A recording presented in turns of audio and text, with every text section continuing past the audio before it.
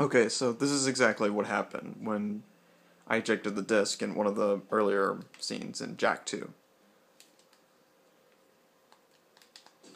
Oh, shh. Okay, there we go. I mean, not all of the physics work here, but I mean, obvious for obvious reasons, it's a cutscene. But this is exactly what happens when you eject the disc when you see the Naughty Dog logo. While this scene was playing, I'm honestly amazed that this actually made it.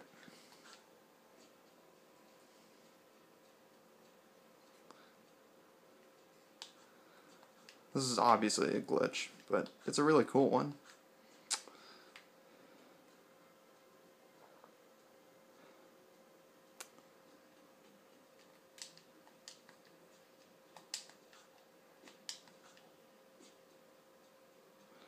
And of course I died.